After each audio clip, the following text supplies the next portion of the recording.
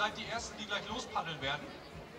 Also nochmal, auf Bahn 1 Cheerleading, auf Bahn 2 Fechten MV, auf Bahn 3 Gewichtheben und auf Bahn 4 Judo. Für das zweite Rennen machen sich bitte bereit.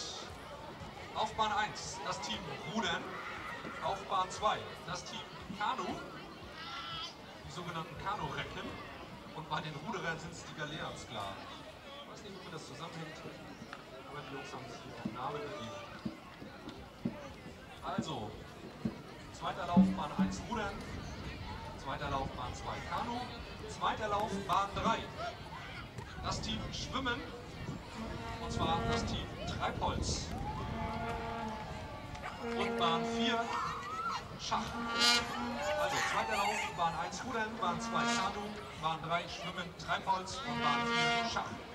Kommen wir zum dritten durch. Teams mit der besten Zeit kommen durch. Das heißt, wenn man selbst in seinem Vorlauf Dritter wird und der Vorlauf entsprechend schnell ist, hat man die Chance auf einen Finallauf beziehungsweise auf eine Finalbahn. Es wird vier Finalteams geben. Das heißt, die vier Zeitschnellsten der drei Durchläufe kommen ins Finale und aus diesen Teilnehmern wird dann der schnellste. Zweiter Start für folgende Teams. Cheerleading auf Bahn 1, Bahn 2 Fechten MV. Das sind die Schmetterlinge, wenn ich das hier richtig sehe.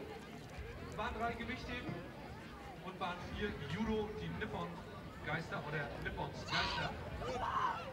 Das sind die vier Teams, die jetzt gleich unten am Steg in die Boote steigen, beziehungsweise schon gestiegen sind und das erste Rennen bestreiten. Wenn ihr wollt, natürlich ab ans Wasser, feuert eure Favoriten an, wenn ihr möchtet.